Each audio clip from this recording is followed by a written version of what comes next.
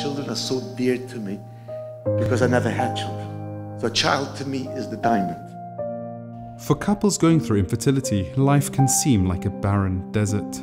The sense of despair and helplessness can be crippling.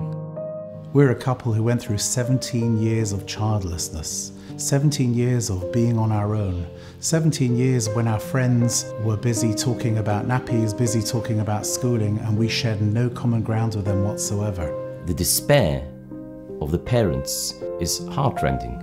We were faced with endless tests, diagnosis, and financial burden that almost took away our hope we would ever become parents for a child of our own.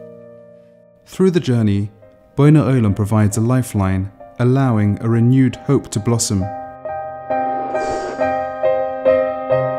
15 years of helping and guiding have given us at Bonei Olam the connections with a top fertility specialist in this country. Rabbi Buchner, who is the head of Bonei Olam, he came and he helped us. He gave us that sense of hope, that sense of we're not going to give up. And even though you've been waiting for all these years, we're going to help you and we're going to succeed. Today, a couple under our guidance feels secure with the knowledge that they are being treated correctly and professionally. We are here to help our couples realize their dreams, to bring hope into fruition.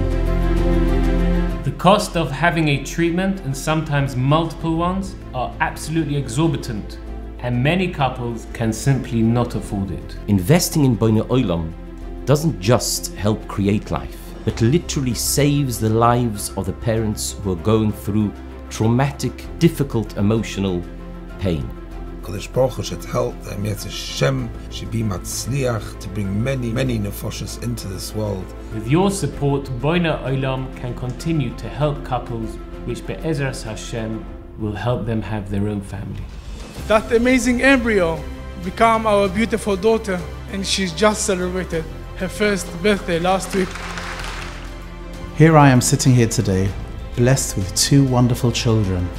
Life has not been the same. I'm now a multimillionaire.